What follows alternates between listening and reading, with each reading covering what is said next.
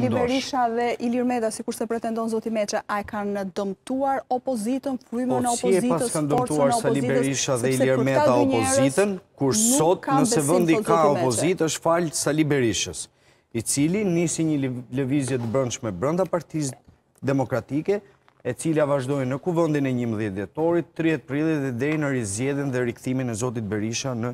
krye të partisë. Nëse më përpara një viti ne kishim një opozitë që shkonte deri ke bulevardi dhe më pas shiste dhe është e përfshirë në afera korruptive, sot ka një opozitë e cila kauzave të saj do t'i shkojë deri në fund. A do të përshkallëzohen protestat dhe a do ketë forma të ndryshme të organizimit në protestat e ardhshme kombëtare?